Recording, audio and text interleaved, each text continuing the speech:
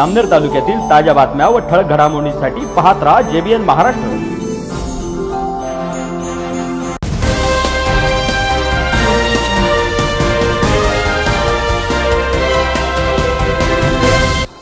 नमस्कार मी विनल चौधरी. पाहूया काही ठळक वृत्त. शासनाच्या आरोग्य विभागाच्या वतीने राबवण्यात येत असलेल्या गोवर आणि रुबेला लसीकरण मोहिमेचा जामनेर तालुकास्तरीय प्रारंभ आज फत्तेपूर ग्रामीण भागापासून करण्यात आला आहे. या निमित्त फत्तेपूर येथील न्यू इंग्लिश स्कूल येथे मान्यवरांच्या उपस्थितीमध्ये उद्घाटन कार्यक्रमाचे आयोजन तालुका आरोग्य विभागाच्या वतीने करण्यात आले होते.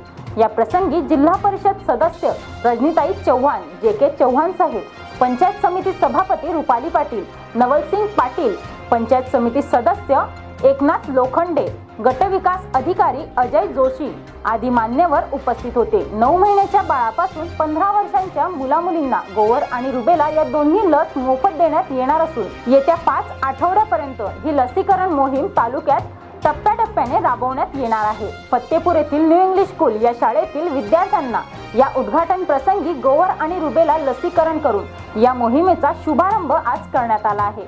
मोहिमेचा लाभ सर्व बालकांनी घेण्याचे आवाहन तालुका आरोग्य अधिकारी डॉक्टर राजेश सोनवणे डॉक्टर पल्लवी राऊत यांनी या प्रसंगी केले. कार्यक्रमाला आरोग्य विभागाचे कर्मचारी तसेच न्यू इंग्लिश स्कूल शाळेचे कर्मचारी मोठ्या संख्येने उपस्थित होते व्यासपीठावर उपस्थित माननीय जे के चव्हाण सर रजनीताई रुपालीताई नाही, नाही, नाही, नाही. रत्नाताई अ, जोशी सर नवसिंग भाऊ उपस्थित सर्व माननीय पदाधिकारी माझे सहकारी तसेच आरोग्य सेवक सेविका अंगणवाडी कार्यकर्ती गटप्रवर्तिका आणि पत्रकार मंडळी तसेच उपस्थित सर्व विद्यार्थी मित्र आज सत्तावीस नोव्हेंबर. दिवाळी संपली आणि शाळा सुरू झाली. आणि शाळेच्या या नवीन सत्रामध्ये आपण मिझल्स रुबेला म्हणजे गोवर आणि रुबेला या मोहिमेला सुरुवात करत आहोत. संपूर्ण जगामध्ये जेवढे बालमृत्यू होतात त्यापैकी गोवरमुळे होणाऱ्या मृत्यूपैकी छत्तीस टक्के मृत्यू हे भारतातले असतात. आणि त्यामुळेच डब्ल्यू एच ओनी एम आर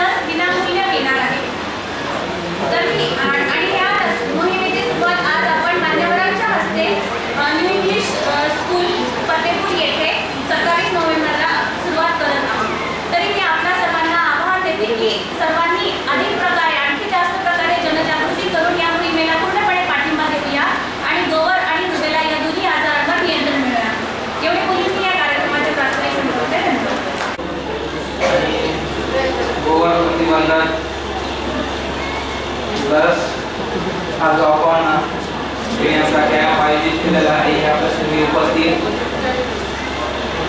म्हणजे गावरील सर्व मान्यवर गण त्या शाळेतल्या सर्व सुविध्य स्टाफ आणि उपस्थित सर्व विद्यार्थी विद्यार्थिनी. गोवन आपण ऐकलेला आहे शब्द डेंजर असा रोग आहे. माणूस त्या गोळानं मरत नाही पण गोळ झाल्यावर न्युमोनिया सारख्या आजारामध्ये खूप कॉम्प्लिकेशन निर्माण होते म्हणून माणसाची डेथ होण्यापर्यंत जातात एवढा गंभीर आजार आहे. दुसरा आहे रुबेला. रुबेला हा गर्भवती मातेसाठी वरदान असलेली लस आहे.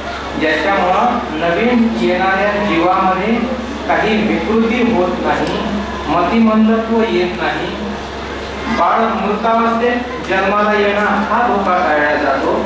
एवढ्या सगळ्या भयानक आणि गुंतागुंतीच्या आजारापासून जीव घेण्याच्या नावाखाली अशी रक्षण करणारी लस आहे आणि आता चव्हाण साहेबांसोबत आमची चर्चा झाली चव्हाण साहेब जरी आता नियत वयोमानानुसार सेवा हे होत झाले पण बरेचदा आम्हाला ज्येष्ठांसारखं मार्गदर्शन करणार आहोत.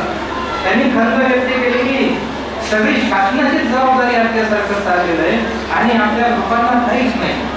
आणि दर्जापर्यंत पोलिओ सारख्या लस द्यायला येतात आणि आपण त्याचा काही त्याचा कॉग्निजन्स घेत नाही. एक सहज तुम्हाला गोष्ट सांगतो भाषण करण्यापेक्षा की कसं आपण आपला करंटेपणा कसा सिद्ध होतो. एका गावामध्ये एक परमेश्वरावर श्रद्धा असणारा त्याची तुमची आमची सगळ्यांचीच राहते पण एक जास्ती श्रद्धा असणारा भक्त राहायचा. काही जरी गोष्ट झाली तरी परमेश्वर माझं रक्षण करणार आहे. आणि त्याच्यावर माझा भाग आहे. असं त्याचा असायचं ठीक आहे त्याची त्याची श्रद्धा असली एकदा काय होतंय त्या गावामध्ये भयंकर पूर येतंय. केरळ जसं आला होता ना गावच्या गाव बरखास्त झाली तसा. गावात पुराचं पाणी फिरायला लागलं. मग गावातले सगळे जे आपले मंडळीच्या काकाचे सारखे वगैरे लोक होते त्यांनी सगळ्यांना एकत्रित करत बाहेर नेलं चालू केलं. आणि यालाही सांगितलं की बाबा रे चल आता पुराचं पाणी यायला लागलंय. हे म्हणलं नाही नाही माझ्या भगवंतावर श्रद्धा आहे माझा भगवंत मला वाचवायला येणार आहे. त्यांनी सांगितलं जाऊ द्या त्याच्या नादी लागणार निघाले पावसाचं पाणी पुराचं पाणी पुन्हा वाढत गेलं. जोरद्यापर्यंत आलं घराच्या पायऱ्या घातल्या गेल्या. पुन्हा त्याच्यानंतर जे गव्हर्नमेंट रेस्क्यू जे आज आपत्ती रक्षक दल होतं ते लोक आले. सगळे कोणी राहिले देतात हे थांबलेलं होतं. याला सांगितलं सर लवकर त्या पुराच्या पाण्याचा धोका वाढायला लागलाय. हा म्हणला नाही मागे देवावर श्रद्धा आहे. देवच मला वाचवायला येणार आहे तुम्ही टेन्शन घेऊ नका देवावर माझी भरोसा आहे राहिलं पुन्हा पावसाचं पाणी वाढत गेलं पुराचं पाणी वाढत गेलं. आणि वर छतावर गेले छतावर जाऊन बसलं. पुन्हा आपत्ती रक्षक दलाचं हेलिकॉप्टर आलं. कोण आणखी राहिलेले पाहायला? हा एकटाच दिसला त्यांनी शिड्या टाकल्या सगळं टाकलं. लवकर उचल शिडीवर बस तुला घेऊन जायचे हा म्हणणार नाही. देवावर माझी श्रद्धा आहे. तुम्ही टेन्शन घेऊ नका. मला देवच वाचवायला येणार आहे. झालं. पावसाचं पुराचं पाणी वर गेलं त्याच्या नाकातोंडला गेलं. याची डेथ झाली मग डेथ झाल्यावर काय? याचा आत्मा गेला वर स्वर्गामध्ये तंतन तंतन करत गेलं. काय हे देवा बरोबर नाही. मी आयुष्यभर तुझ्यावर श्रद्धा ठेवली. अगदी निकोप श्रद्धा होती माझी. तुम्हाला वाचवायला सुद्धा आला नाही. परमेश्वर हसला. आणि सांगितलं बाळा मी तीन ते चार वेळा तुझ्याकडे आलो होतो. तुला वाचवायला. पण तू एकदा सुद्धा माझं रूप ओळखलेलं नव्हतं. अरे तसंच काहीतरी आपलं व्हायला लागलंय ना. दारोदार आपल्याला वाचवण्याच्या स्वरूपात आणि आपण जर आपला करंटीपणा जर कुठं सुद्धा करू शकत असतो तर मग ह्याच्यापेक्षा दुर्दैवाची गोष्ट नाही. कृपया या सगळ्या आजाराचं लोकांचं गांभीर्य लक्षात घ्या. नुकताच एक सर्वे प्रसिद्ध झाला आहे. त्यात कशाचा सर्वे आहे? हॅपीनेस हॅपीनेस इंडेक्स आनंदी राहण्याचा निर्देशांक. तुम्हाला ऐकून आश्चर्य वाटेल.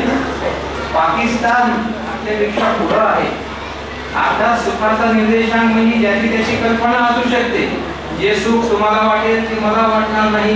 माझ्या सुखाची कल्पना वेगळी आहे. पण सांगायचं तात्पर्य की या इंडेक्समध्ये पाकिस्तान सारखा देश सुद्धा आपल्या पुढे आहे आणि आपण कुठेतरी माग आहोत. म्हणून आपल्याला या सगळ्या प्रतिसादाला केवळ शासनाची जबाबदारी आहे आणि शासन याच्यासाठी उत्तरदायी आहे असं काही करून चालणार नाही. आपल्याला या सगळ्या गोष्टीचं महत्त्व ओळखावं लागेल. आपल्या आयुष्याची काळजी घ्या. निकोप सुदृढ आणि सुंदर आयुष्य जगा आपल्याला भावी आयुष्याच्या शुभेच्छा देतो आणि ते सांगतो जय आजच्या या लसीकरण कार्यक्रमाच्या तालुकास्तरीय आपल्या या कार्यक्रमाच्या उद्घाटन प्रसंगी उपस्थित आमचे सर्वांचे मार्गदर्शक आदर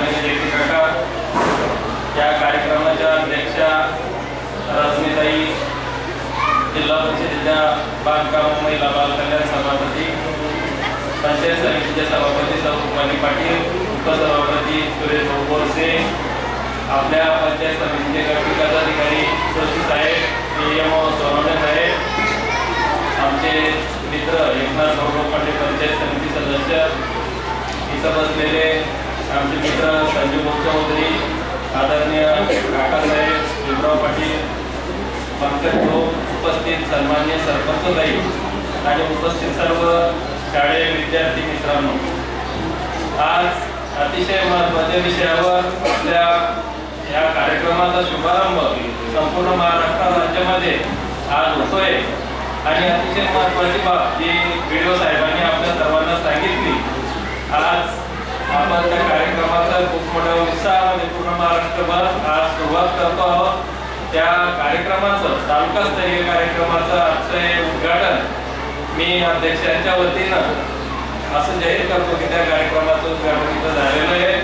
आपल्याला अजून बरेच कार्यक्रम असल्यामुळे जास्त वागत न घेता मी सर्वांच्या वतीनं आजचा हा कार्यक्रम त्याचे उद्घाटन झालेलं आहे. आता लगेचच आपण लसीकरणाला सुरुवात करूया. धन्यवाद. जय हिंद जय महाराष्ट्र.